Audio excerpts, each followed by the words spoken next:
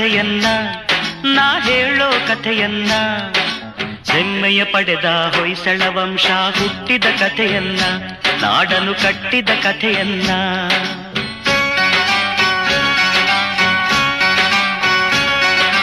ಕನ್ನಡ ನಾಡಿನ ರನ್ನದರತು ನಾ ಕೇಳೋ ಕಥೆಯನ್ನ, ನಾ ಹೇಳೋ ಕಥೆಯನ್ನ.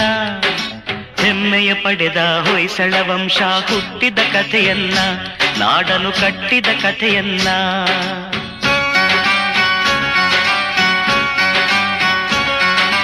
ಒಂದಾನೊಂದು ಕಾಲದಲ್ಲಿ ಮಲೆನಾಡಿನ ಮಡಿಲಿನಲ್ಲಿ ಅಂಗಡಿ ಊರಿತ್ತು, ಊರಿಗೆ ಚೆಲುವಿನ ಕಳೆಯಿತ್ತು.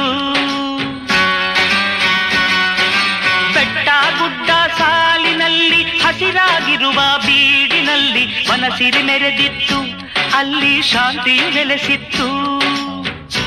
ಪ್ರಕೃತಿಯೇ ಹೆಣ್ಣಾಗಿ, ಮನುಜಗೆ ಕಣ್ಣಾಗಿ.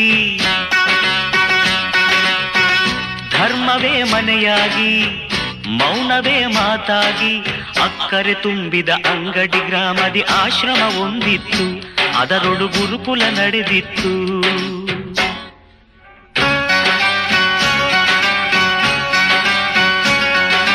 ಕನ್ನಡ ನಾಡಿನ ರನ್ನ ದರತು ನಾ ಕೇಳೋ ಕಥೆಯನ್ನ ನಾ ಹೇಳೋ ಕಥೆಯನ್ನ ಹೆಮ್ಮೆಯ ಪಡೆದ ಹೊಯ್ಸಳ ವಂಶ ಹುಟ್ಟಿದ ಕಥೆಯನ್ನ ನಾಡನು ಕಟ್ಟಿದ ಕಥೆಯನ್ನ.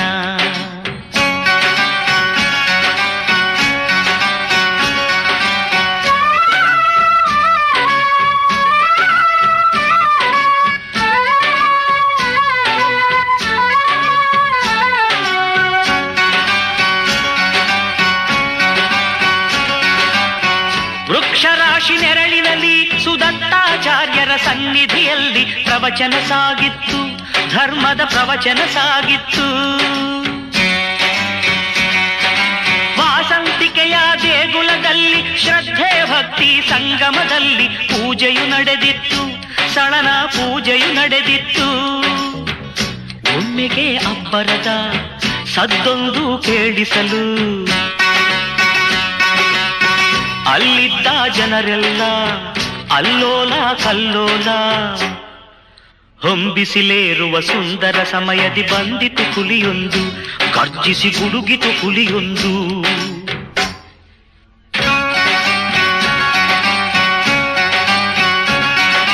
ಕನ್ನಡ ನಾಡಿನ ರನ್ನ ದರತು ನಾ ಕೇಳೋ ಕಥೆಯನ್ನ, ನಾ ಹೇಳೋ ಕಥೆಯನ್ನ.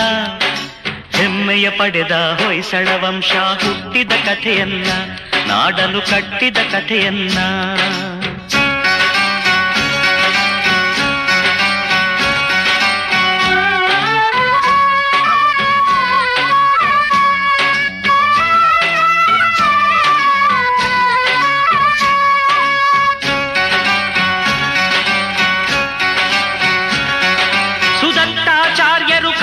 ಕಂಠದಿ ಸಳನನು ಕೂಗಿ ಕರೆದರು ಆಗ ಆಜ್ಞೆಯು ಮೊಳಗಿತ್ತು, ಗುರುಗಳ ಆಜ್ಞೆಯೇ ಮೊಳಗಿತ್ತು.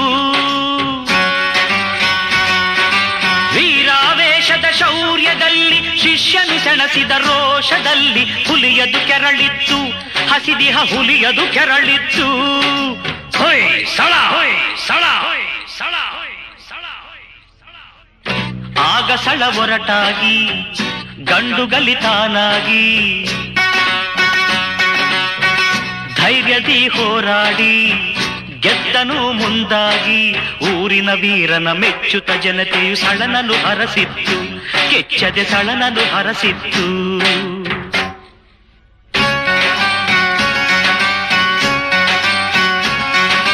ಕನ್ನಡ ನಾಡಿನ ರನ್ನದರತು ನಾ ಕೇಳೋ ಕಥೆಯನ್ನ, ನಾ ಹೇಳೋ ಕಥೆಯನ್ನ. ಹೆಮ್ಮೆಯ ಪಡೆದ ಹೊಯ್ಸಳ ವಂಶ ಹುಟ್ಟಿದ ಕಥೆಯನ್ನ ನಾಡನು ಕಟ್ಟಿದ ಕಥೆಯನ್ನ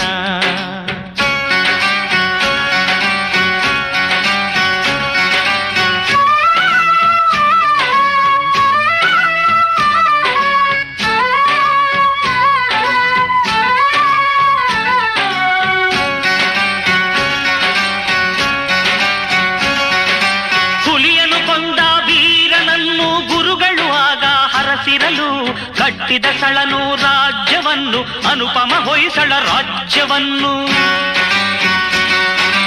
ಹುಲಿಯನ್ನು ಕೊಲ್ಲುವ ಲಾಂಛನ ಹಿಡಿದು, ಗದ್ದುಗೆ ಏರಿ ಆಳ್ವಿಕೆ ಮೆರೆದು ಚರಿತ್ರೆ ಮೊದಲಾಯಿತು.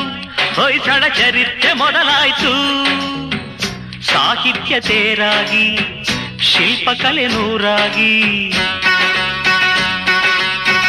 ಸಂಗೀತ ಹೊನಲಾಗಿ ಸಂಸ್ಕೃತಿ ತೌರಾಗಿ ವೈಭವ ಸಾರುವ ಹೊಯ್ಸಳ ವಂಶ ನಾಡನು ಬೆಳಗಿತ್ತು, ಕನ್ನಡ ನಾಡನು ಬೆಳಗಿತ್ತು.